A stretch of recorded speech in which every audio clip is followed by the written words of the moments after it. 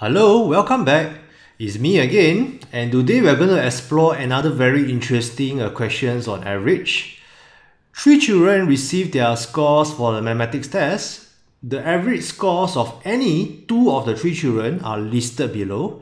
What was the highest score among the three children? Alright, so this table, right, you see three numbers over here, right? And these three numbers stand for the average scores of any two of the three children. Alright, so give me a guess. How come there are three numbers over here and not two numbers? Because they say average scores of any two, right? Why don't you see, just see two numbers over here? Why do we see three numbers instead? Okay, the reason is because when there are three children, right, let's call them A, B, and C, correct? So 83 will be the average of student A and student B. 86 will be the average of student A and student C and 94 will be the average of student B and student C. That's why you see three numbers. Alright, and so based on these three numbers, are you able to find the highest score among the three children? So do pause the video now and try this question yourself. Alright, welcome back. Let's go through the answers and see whether you can get it correct. So as I mentioned earlier on, let the three children be A, B, C. Alright, so to find the scores of A and B, you take 83 times 2. Remember, Average times the number of children is the total score, you get 166. Then to find B and C, you take 86 times 2, you get 172.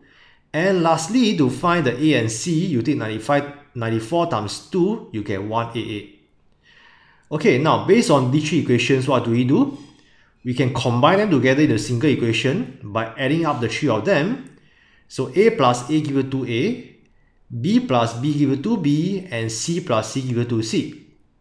Alright, so when you take 166 plus 172 plus 188, you should get 526. Alright, so 2a plus 2b plus 2c equals to 526. Give me a guess what is a plus b plus c. Right, to find a plus b plus c, you simply take 526 divided by 2, you get 263. And that's the total scores for the three children.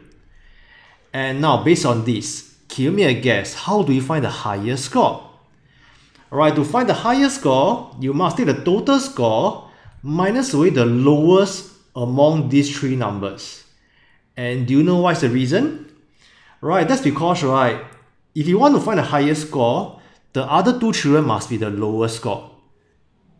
And we know that lowest score is a 166. So to find the highest score, you take 263 minus away 166. The answer is 97. Do you manage to get this question correct? If you didn't get correct, don't get demoralized. I know this is a pretty challenging questions. So do take some time and wrap your mind around the solutions. And once you're feeling comfortable, you can actually cover up the solutions and try the question again.